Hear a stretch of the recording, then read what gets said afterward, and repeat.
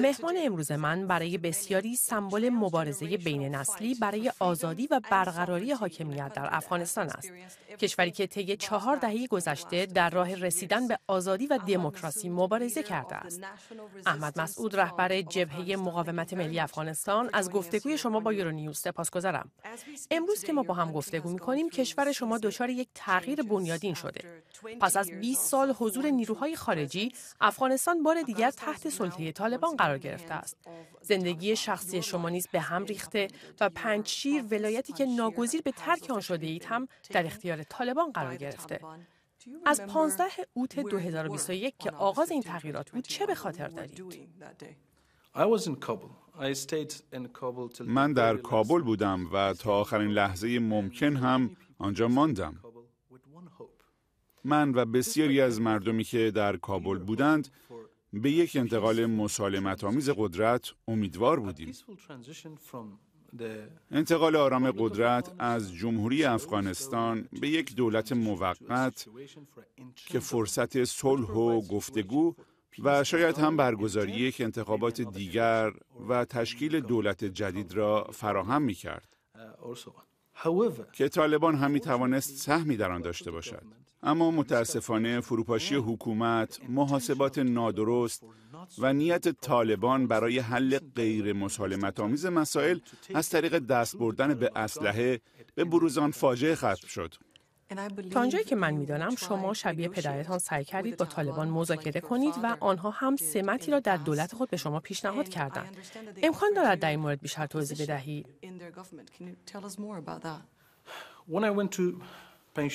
وقتی من به درای پنجشیر رفتم طالبان همان گونه که انتظار می رفت در حال تبلیغ علیه آقای غنی بودند محور تبلیغات منفی آنها این بود که آقای غنی فردی صلح طلب نبود.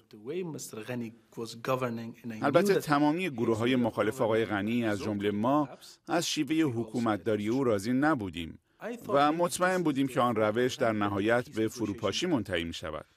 البته نظر درستی هم بود.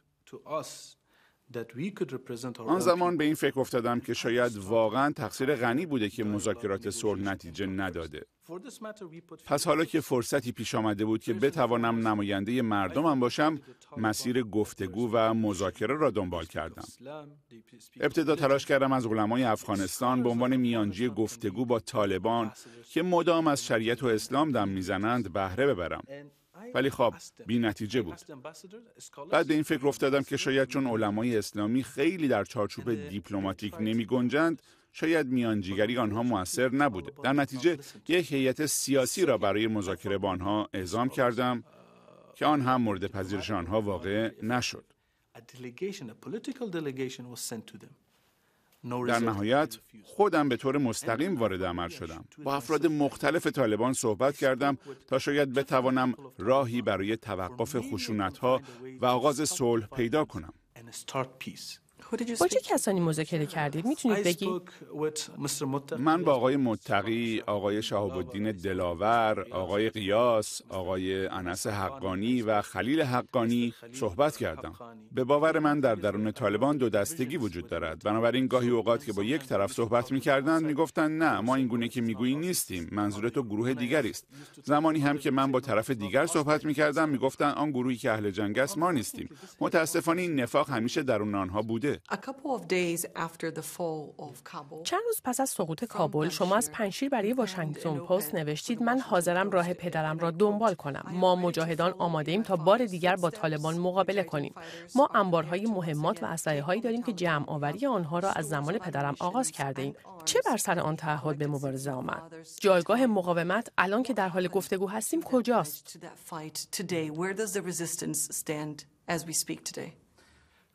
مقاومت چیزی است که طالبان مدام آن را انکار می کند ولی واقعیت این است که ما توانستیم آنها را اسیر کنیم. حتی توانستیم هلیکوپترهای آنها را ساقط کنیم.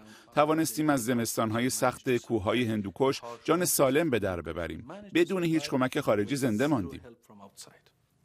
آیا جامعه بین المللی به خواست شما بیتوجه است یا این وضعیت انتخاب خود شماست؟ هیچ عقل سلیمی نمی‌گوید که ما به چیزی نیاز نداریم. البته که ما به کمک و حمایت نیاز داریم. اما مسئله این است که هنوز من قویا معتقدم که باید دور هم جمع شویم. یعنی جامعه جهانی در کنار تمامی نخبگان افغان که از وضعیت کنونی راضی نیستند، باید راهی برای آینده افغانستان بیابیم.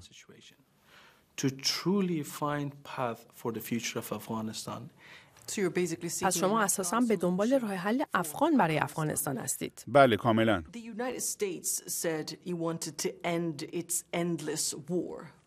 ایالات متحده گفت که به جنگ بی پایان خود پایان داد.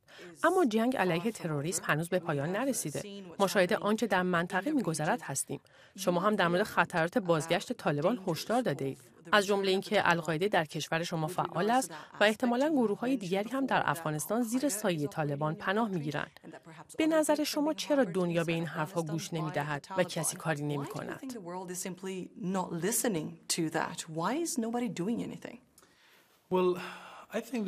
خب من فکر می کنم دو دلیل برای آن وجود دارد. ما در دنیای شبیه سال 2001 زندگی نمی کنیم.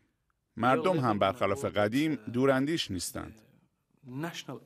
در آن زمان نسلی که به تجربیات یا دوران پس از جنگ جهانی دوم نزدیکتر بود، اهمیت مبارزه برای آزادی و دموکراسی را درک می کرد.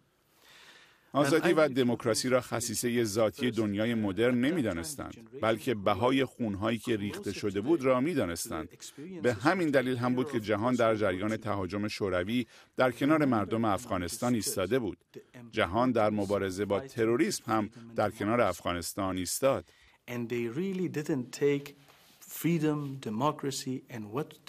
اما 20 سال گذشته و به اعتقاد من ما نسل جدید همه چیز را بدیهی فرض کردیم. چنان که در دوره جدید تغییرات کمی در اروپا به وجود آمد. پس ارزش زندگی، دموکراسی و آزادی که از دل فداکاری های بسیار حاصل شده بود فراموش شد.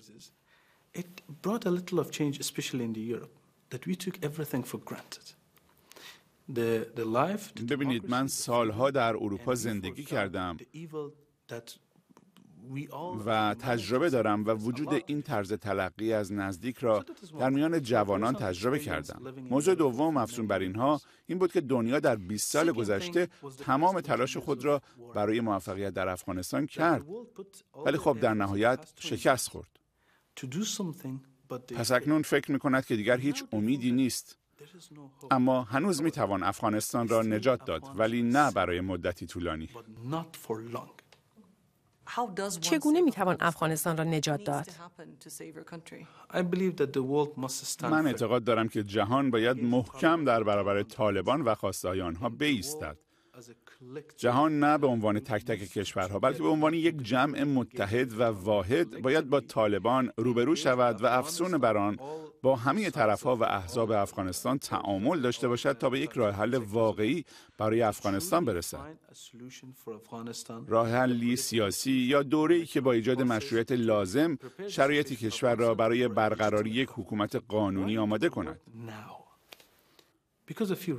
می‌دانید برخی از کشورها که مخالف حضور نیروهای آمریکایی در افغانستان بودند و تنها به این دلیل از طالبان حمایت می‌کردند الان منفعلند و هیچ کاری نمی کنند. بنابراین الان شاید فرصتی فراهم شده باشد که موفقیت را از آن ما کند.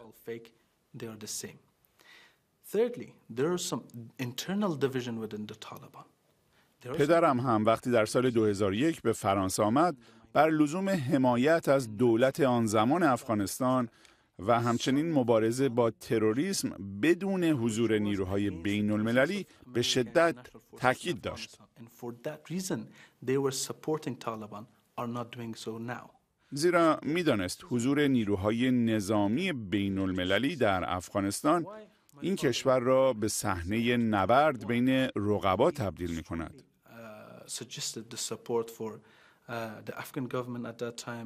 در واقع میدان جنگی برای رقابت قدرت‌های بزرگی که همه می‌دانیم بسیاری از آنها چندان در بازی‌ها و برنامه‌های خود الزاما همسو نیستند. اما اکنون که حضور نیروهای بین المللی در افغانستان به صفر رسیده فرصت تلاش برای تغییر فراهم شده.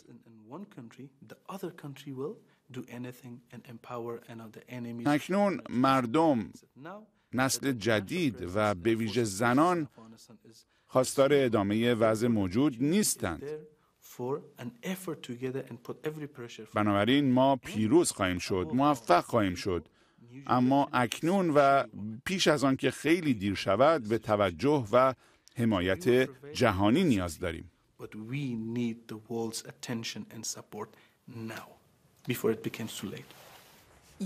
شما به پدرتان اشاره کردید که نمادی خارق‌العاده از مبارزه برای ارزش‌های مشترک با غرب است. فکر می‌کنید اگر پدرتان زنده بود، اوضاع فرق می‌کرد؟ if he was alive today, things would be different. Absolutely.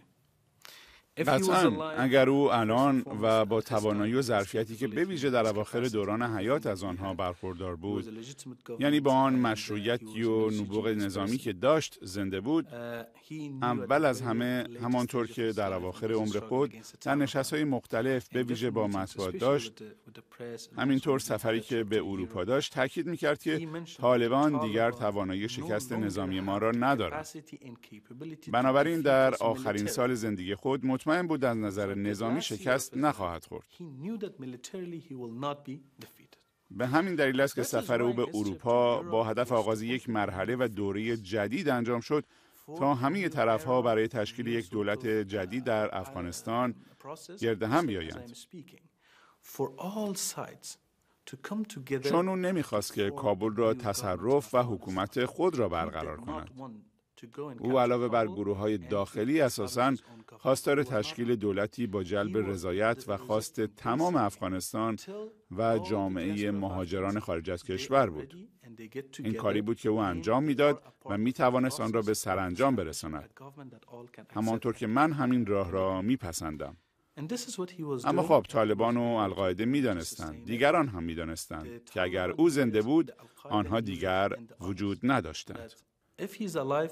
اما القاعده هم می‌دانست که اگر او زنده بود آنها حتی قادر نبودند به غرب ضربه بزنند. بنابراین اول تصمیم به حذف او گرفتند و بعد به برج‌های دوقلو حمله کردند. اگر احمد شاه مسعود کشته نشده بود تراژدی 11 سپتامبر اصلا اتفاق نمیافتاد و وضع امروز ما هم این نبود.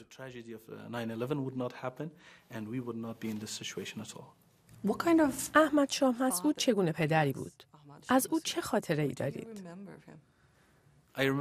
من خیلی چیزها را از او به یاد دارم. مهربانی او را به یاد می‌برم. یادم میآید که معلمی بسیار سختگیر بود.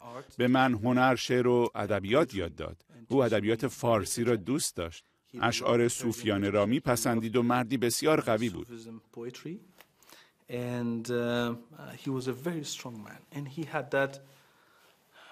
پدرم قدرت کاریزماتیکی داشت که وقتی کنارش بودی احساس آرامش می‌کردی و با خود می‌گفتی او اینجاست پس هیچ اتفاقی نمیافتد.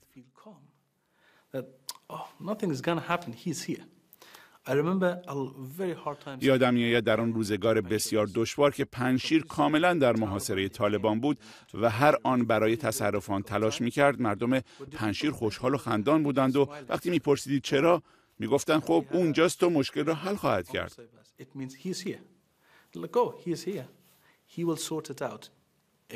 چون فکر می‌کردند که اگر او توانست روزها را شکست دهد پس به زودی می‌تواند همه این فشارها را رفع کند. او اینطور بود. او چراغ امید بود. او چراغ عشق بود. بسیار مهربان بسیار معتدل.